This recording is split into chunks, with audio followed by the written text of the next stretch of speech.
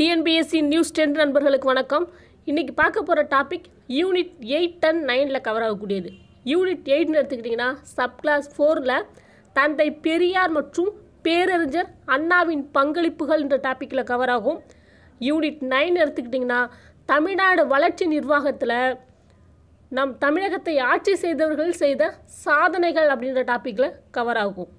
வீடியோவை ஸ்கிப் பண்ணாமல் பாருங்கள் எக்ஸாமில் கேட்கக்கூடிய இன்ஃபர்மேஷன் அடங்கியிருக்கு தேதியோடு இடம்பெற்றிருக்கு. மேக்ஸிமம் எக்ஸாமில் தேதியோடு தான் கேட்குறாங்க. அது இது குரூப் ஒன் சர்வீஸு கண்டிப்பாக தேதி தெரிஞ்சு வச்சுருக்கணும். நம்ம இயர் தெரிஞ்சுட்டு போவோம் ஆனால் எக்ஸாமில் இடம்பெறுறது தேதியாக இருக்கும். அதனால தான் டிஎன்பிஎஸ்சி நியூஸ் டென் டெலகிராம் சேனலில் கூட நான் கொடுக்குற டெஸ்ட்டில் தேதியோட கொஷின்ஸ் இடம்பெறுது.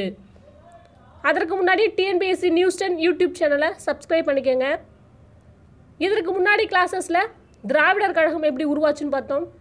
இன்றைக்கி திராவிட கழகத்திலேருந்து திராவிட முன்னேற்ற கழகம் எப்படி உருவாச்சுன்னு பார்க்க போகிறோம் பதினேழு ஒம்பது ஆயிரத்தி தொள்ளாயிரத்தி நாற்பத்தி ஒம்போதில் திராவிட கழகத்திலேருந்து வெளியேறினவங்க தான் திராவிட முன்னேற்ற கழகத்தை உருவாக்கியிருப்பாங்க.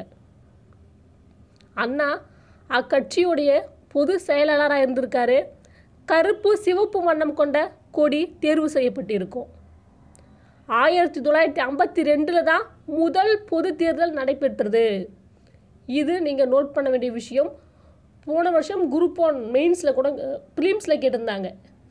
ஆயிரத்தி தொள்ளாயிரத்தி ஐம்பத்தி ரெண்டு முதல் பொது தேர்தலில் பெண்கள் எத்தனை பேர் அதில் இடம்பெற்றிருந்தாங்க அப்படின்னு ஒரு கொஷின் கேட்டிருந்தாங்க. அப்போது திமுக பங்கேற்க மாட்டாங்க. முதல் பொது தேர்தலில். என்ன அவங்க சொல்லியிருப்பாங்கன்னா திராவிடர்களின் கருத்தை அறியாமலும் திராவிடர்களின் ஜீவாதார உரிமைக்கு ஊறு செய்யும் வகையிலும் ஒரே கட்சியாரின் ஏதிச்சதிகார முறைப்படியும் தயாரிக்கப்பட்ட இந்திய அரசியல் சட்டத்தை திமுக கண்டிப்பதன் அறிகுறியாக தேர்தலில் திமுக தனது வேட்பாளர்களை நிறுத்தவில்லை அப்படின்னு அறிவிச்சிருப்பாங்க. அரசியலமைப்பு சட்டத்தை மென்ஷன் பண்ணி சொல்கிறாங்க அப்படின்றத இங்கே நீங்கள் தெரிஞ்சுக்கணும். திராவிட நாடு அப்படின்ற கோரிக்கையை வச்சுருப்பாங்க. ஆந்திரா கர்நாடகம் தமிழ்நாடு கேரளா ஆகிய திராவிட இன மொழி இவங்க எல்லாமே சென்னை மாகாணத்தை சேர்ந்தவங்க அப்படின்னு இப்போ உங்களுக்கு ஞாபகம் வரணும். இந்த மாநிலங்களை உள்ளடக்கிய தனியாட்சி பெற்ற திராவிட நாடு கோரிக்கையை ஏற்றுக்கொள்ளும் வேட்பாளர்களை ஆதரிப்பதாக அந்த கட்சி அறிவிச்சிருக்காங்க திமுக. ஆயிரத்தி தொள்ளாயிரத்தி ஐம்பத்தி மூணு ஜூலை பதினான்கு பதினஞ்சில் ராஜாஜி கொண்டு வந்த குலக்கல்வி திட்டத்துக்கு எதிர்ப்பு தெரிவிச்சிருக்காங்க. இந்த தேதி ரொம்ப முக்கியம். யார் குலக்கல்வி திட்டத்தை கொண்டு வந்தாங்க அப்படின்றது முக்கியம். டால்மியாபுரம் பெயரை கள்ளக்குடி என்று பெயர் மாற்றம் சொல்லி போராட்டம் நடைபெற்றிருக்கும். இந்த டால்மியாபுரம் அப்படின்றது டால்மியா சிமெண்ட் தயாரிக்கிற இடம். இதுவும் தமிழ்நாடு அட்மினிஸ்ட்ரேஷனில் கவர் ஆகக்கூடியது. திருச்சிக்கு பக்கத்தில் இருக்குது நியரஸ்ட் ஏரியா தான் இது டால்மியாபுரம். தமிழ்நாட்டு மக்களை நான்சென்ஸ் என்று நேரு கூறியதற்கு எதிர்ப்பு தெரிவித்து போராட்டத்தில் திமுக இறங்கியிருக்கும் இந்த மூணு போராட்டங்களில் இவங்க ஈடுபட்டாங்க அப்படின்னு நீங்கள் தெரிஞ்சு வச்சுருக்கணும். திருச்சி மாநாடு ஆயிரத்தி தொள்ளாயிரத்தி ஐம்பத்தி ஆறில் திமுக சார்பில் நடைபெற்றிருக்கும். அப்பொழுது எந்த ஒரு மாநிலமும் எப்போது வேண்டுமானாலும் இந்திய யூனியனிலிருந்து பிரிந்து சென்று தனித்து இயங்கும் உரிமையை தானே பெற்றிருக்க அரசியலமைப்பு திருத்தம் வேண்டும் அப்படின்னு திமுக சொல்லியிருக்கும். இது நடக்குமா? நம்ம இந்தியா வந்து சுற்றி இருக்க எல்லா நாடுகளையும் தன்னோட இணைக்க தான் பார்க்கும்போது இந்தியாவிலேருந்து ஒரு துரும்ப கூட வெளியேற்ற நினைக்காது. அதன்படி நடந்தது தான் ஜம்மு காஷ்மீர் விஷயம் கூட. அப்போது திமுகவுடைய அறிக்கை இந்த மாதிரி சொல்லியிருந்தாங்க. மொத்தம் நூற்றி பன்னிரெண்டு இடங்களில் போட்டியிட்டு பதினஞ்சு இடங்களில் அக்கட்சி வென்றிருக்கும். இரண்டாவது தேர்தலில் அப்படின்றத நீங்கள் ஞாபகம் வச்சுருக்கணும். அப்போதான் பதினஞ்சு இடம் இவங்க வெற்றி பெற்றதுனால மாநில அந்தஸ்து கொடுக்குறாங்க. மாநில கட்சி அந்தஸ்து எந்த வருஷம் திமுகவுக்கு கொடுக்கப்பட்டதுன்னு கொஷின் இருக்கலாம். ஆயிரத்தி தொள்ளாயிரத்தி ஐம்பத்தி எட்டு மார்ச் ரெண்டில் திமுக மாநில கட்சியாக அங்கீகரிக்கப்பட்டு உதயசூரியன் சின்னம் ஒதுக்கப்பட்டது. ஆயிரத்தி தொள்ளாயிரத்தி ஐம்பத்தி ஒம்போதில் நடைபெற்ற சென்னை மாநகராட்சி தேர்தலில் தொண்ணூறு இடங்களில் திமுக வெற்றி பெற்று முதன் முதலாக மாநகராட்சி மேயர் பொறுப்பை ஏற்றிருக்கும். இந்த வருடம் ரொம்ப முக்கியம். தமிழ் தேசிய கட்சின்னு ஒன்று உருவாயிருக்கும். திமுகவிலிருந்து பிரிந்து சென்ற முதல் கட்சின்னு சொல்லலாம். பத்தொம்போது நாலு ஆயிரத்தி தொள்ளாயிரத்தி அறுபத்தி ஒன்றில் ஈவி கி சம்பத்து வெளியேறி திமுகவிலேருந்து வெளியேறி தமிழ் தேசிய கட்சின்னு ஒன்று உருவாக்கியிருப்பார். இதுதான் திமுகவுடைய முதல் பிளவு. இலங்கையில் வாழும் தமிழர்களுக்காக ஆயிரத்தி தொள்ளாயிரத்தி அறுபத்தி ஒன்றில் திமுக பேரணி நடத்தியிருக்கும். இந்த வருடம் ரொம்ப முக்கியம். ஆயிரத்தி தொள்ளாயிரத்தி அறுபத்தி ரெண்டில் நடைபெற்ற பொது தேர்தலிலும் திராவிட நாடு விடுதலை கோரிக்கையை முன்வைத்து பிரச்சாரம் செய்தது திமுக. இதில் ராஜாஜியின் சுதந்திர கட்சி முஸ்லீம் கட்சி இவங்களுடன் இணைந்து திமுக போட் போட்டிட்டு இருப்பாங்க அதில் ஐம்பது இடங்களில் வந்து வெற்றி கிடச்சிருக்கும்.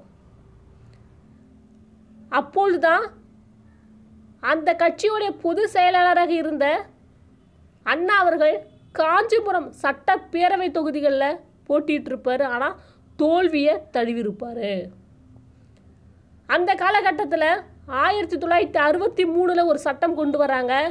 பிரிவினை பேசுவோரை தடுக்கணும் அப்படின்றதுக்காக இந்த சட்டம் ரொம்ப முக்கியம் வருஷம் ரொம்ப முக்கியம். பிரிவினை தடுப்பு சட்ட மசோதா ஆயிரத்தி தொள்ளாயிரத்தி அறுபத்தி மூணில் கொண்டு வர்றாங்க. அதன்படி இவர் ஆயிரத்தி தொள்ளாயிரத்தி அறுபத்தி மூணு ஜூன் எட்டு ஒம்பது பத்து தேதிகளில் திமுக பொதுக்குழு கூட்டத்தில் ஒரு அறிக்கை வெளியிடுறாரு. திராவிட நாடு விடுதலை கோரிக்கையில் மாற்றம் செய்யப்படுது. தமிழகம் ஆந்திரம் கேரளா கர்நாடகம் ஆகிய நான்கு மொழிவழி மாநிலங்களும் இந்திய அரசுரிமை ஒருமைத்தன்மை அரசியல் அமைப்பு சட்டம் ஆகியவற்றுக்குள் இயன்ற அளவு கூடுதலான அதிகாரங்களை பெற்று நெருங்கிய திராவிட கூட்டமைப்பாக நிலவ பாடுபடுவது அப்படின்னு அவங்களுடைய குறிக்கோளே சேஞ்ச் பண்ணியிருக்காங்க. தனி திராவிட நாடு அப்படின்றத மாற்றி இப்போது வேற ஒரு குறிக்கோளை இவங்க ஃபிக்ஸ் பண்ணுறாங்க சட்ட நகல் எரிப்பு. இந்தி போராட்டம் நடக்குது. அதற்காக தான் இந்த சட்ட நகல் எரிப்பு நடக்குது. நவம்பர் பதினேழில் இந்தியை இந்தி பேசாத மக்களின் மீது திணிக்கும் அரசியல் சட்ட பிரிவு பதினேழை எரிப்பதாக திமுக அறிக்கை விடுகிறது. ஷரத்து பதினேழு என்ன சொல்லுது அப்படின்றது இங்கே இந்தி பற்றி சொல்லியிருக்காங்க. இதை நீங்கள் இங்கே நோட் பண்ணணும். ஆயிரத்தி தொள்ளாயிரத்தி அறுபத்தி அஞ்சு ஜனவரி இருபத்தி ஆறு தான் இந்தி கட்டாயமாக்கப்படுது அப்படின்னு சொல்லியிருக்காங்க. அந்த ஜனவரி இருபத்தி ஆறாம் தேதியை நம்ம ஜனவரி இருபத்தி ஆறுனாவே இந்திய குடியரசு தினமும் தெரியும். இந்த இந்தியை அவங்க அனௌன்ஸ் பண்ணதுனால அந்த ஜனவரி இருபத்தி ஆறை இவங்க துக்க நாளாக அறிவிக்கிறாங்க. உங்களுக்கு கொஷின் பேப்பர் என்ன வரும் அப்படின்னா துக்க நாளாக ஜனவரி இருபத்தி ஆறை அறிவித்த கட்சி எது அப்படின்னா திமுக அப்படின்றது நீங்கள் ஞாபகம் வச்சுக்கணும். யார் காலத்தில்னா அண்ணா காலத்தில். ஆயிரத்தி தொள்ளாயிரத்தி அறுபத்தி ஏழில் நடைபெற்ற மூன்றாவது பொது தேர்தலில் திமுக நூற்றி முப்பத்தி எட்டு இடங்களை பிடிக்கிறாங்க. முதன் முறையாக ஆட்சியை பிடிக்கிறாங்க. ஆயிரத்தி தொள்ளாயிரத்தி அறுபத்தி ஏழு பிப்ரவரி ஆறில் அண்ணா தமிழ்நாட்டின் முதல்வராக அமர்றாரு. இந்த மந்த்து ரொம்ப முக்கியம் தேதி ரொம்ப முக்கியம் வருடம் ரொம்ப முக்கியம். ஆயிரத்தி தொள்ளாயிரத்தி அறுபத்தி ஒம்பது பிப்ரவரி மூணு வரைக்கும் அவர் இறக்குற வரைக்கும் பதவியில் இருக்கார். அண்ணாவுடைய சாதனைகள் என்ன? இதில் வருஷம் முக்கியம் தேதி முக்கியம் என்ன பண்ணினார் அப்படின்றது முக்கியம். சென்னை மாநிலத்தை தமிழ்நாடு என பெயர் மாற்றம் செய்தது அறிஞர் அண்ணா. ஆயிரத்தி தொள்ளாயிரத்தி அறுபத்தி ஒம்பது ஜனவரி பதினாலு. தமிழ்நாடு அரசின் மொழி கொள்கையாக இருமொழி திட்டத்தை அறிவித்தது ஆயிரத்தி தொள்ளாயிரத்தி அறுபத்தி எட்டு. தேதி ரொம்ப முக்கியம். நோட் பண்ணிக்கோங்க. ஜனவரி இருபத்தி மூணு. தாலி சாதி புரோகிரதர் ஆகியவை இல்லாமல் இது எதுவுமே இருக்கக்கூடாது. இல்லாமல் நடைபெற்ற சுயமரியாதை திருமணங்களுக்கு அங்கீகாரம் வழங்கும் சட்டம் இது எல்லாமே அண்ணா நிறைவேற்றுறாரு. இது சுயமரியாதை திருமணம் அப்படின்றது நம்ம பெரியாருடைய வழிவந்த கொள்கை அப்படின்றத இங்கே நீங்கள் ஞாபகம் வச்சுக்கணும். அண்ணா மறைந்த பின்பு ஆயிரத்தி தொள்ளாயிரத்தி அறுபத்தி ஒம்பது ஜூலை இருபத்தி ஆறில் தான் முதன் முதலாக தலைவர் அப்படின்ற ஒரு பதவியை திமுகவில் உருவாக்குறாங்க. இது இங்கே நீங்கள் தெரிஞ்சுக்கணும். அதுக்கு முன்னாடி வரைக்கும் பொது செயலாளர் தான் இருந்தாங்க. அந்த பொது செயலாளர் தான் வந்து கட்சியில் வந்து முதலமைச்சராக இருப்பாங்க. அதுக்கப்புறம் தான் தலைவர் அப்படின்ற ஒரு பதவி உருவாகுது. பெரியார் வந்து பெரியாரும் அண்ணாவும் திராவிட கழகத்தில் இருந்தாங்க. பெரியாரிடமிருந்து அண்ணா வெளியேறதுக்கான காரணம் என்ன அப்படின்றத இதை பார்க்குறோம். ஆயிரத்தி தொள்ளாயிரத்தி நாற்பத்தி ஒம்போதில் பெரியாரின் தலைமை தளபதியான அண்ணா பெரியாரிடமிருந்து பிரிந்து திராவிட முன்னேற்ற கழகம் அப்படின்ற ஒரு கட்சி ஆரம்பிக்கிறாரு. இதற்கு காரணம் என்னன்னா இவங்க ரெண்டு பேருக்குள்ள ஏற்பட்ட கருத்து வேறுபாடு. பெரியார் சொல்லியிருப்பாரு தேர்தலில் போட்டியிட வேண்டாம் தேர்தல் அரசியல் தேவையில்லை அப்படின்னு சொல்லியிருப்பாரு. ஆனால் அவங்களுடைய கீழே இருந்த அந்த ஆதரவர்கள் அண்ணா அவங்கள சுற்றி இருக்கவங்களாம் என்னென்னா அரசியல் வேணும் அப்படின்னு சொல்லியிருப்பாங்க. அதுதான் இங்கேயும். தனி தமிழ்நாடு கோரிக்கையை முன்வைத்திருப்பார். திராவிட நாடு கோரிக்கையை முன்வைத்திருப்பாரு பெரியார். திராவிட நாடு அல்லது தனி தமிழ்நாடு கோரிக்கையை முன்வைத்தார். ஆனால் அண்ணாதுரை டெல்லி அரசுடன் இணக்கமாக இருந்து கொண்டு கூடுதல் அதிகாரங்களை கொண்ட மாநில சுயாட்சியை பெறுவதில் அக்கறை காட்டியிருப்பார்.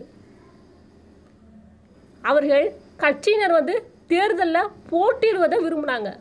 அண்ணா சம்மந்தப்பட்டவங்களாம் போட்டியிட விரும்பியிருப்பாங்க. பெரியார் வந்து அதெல்லாம் வேண்டாம்னு சொல்லியிருப்பார். பெரியார் தன்னுடைய கட்சியின் லட்சியங்களாகவும் தனது லட்சியங்களாகவும் முன்னிறுத்தியது சமுதாய மறுமலர்ச்சி சமுதாய விழிப்புணர்வு மூடநம்பிக்கை ஒழிப்பு கடவுள் மறுப்பு போன்றவற்றை தான் அரசியல் காரணங்களுக்காக சிறிதும் விலகி நிற்க அல்லது விட்டு கொடுக்க அவர் விரும்பலை. இதுதான் இவங்களுடைய பிரிவுக்கு காரணமாக இருந்திருக்கும். அதே மாதிரி பாருங்க.